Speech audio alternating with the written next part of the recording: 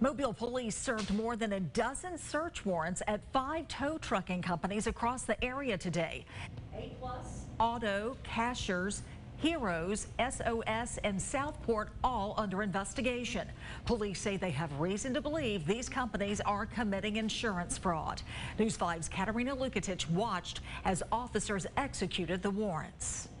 Mobile police are investigating five different companies across the city of Mobile. They served search warrants at 18 of their locations all across the city. Police were taking paperwork out of these locations looking for proof that they're overcharging both customers and insurance companies, which could lead to higher insurance premiums. Some of these record companies are, are charging in excess of 25% up to 100% more than what the city allowed. Police began their investigation after not only citizens complained, but the tow trucking companies themselves. In many ways, they help open this can of worms by uh, wanting to do add more or to get more through the ordinance.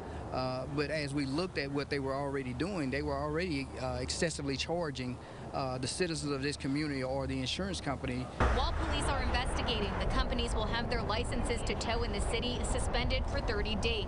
Depending on what police find, they could be removed from the city's rotation altogether or even arrested. There may be criminal charges that may be come about as a result uh, of our investigation. Police say all this is an effort to hold those tow trucking companies accountable and to ensure citizens are not being overcharged for services.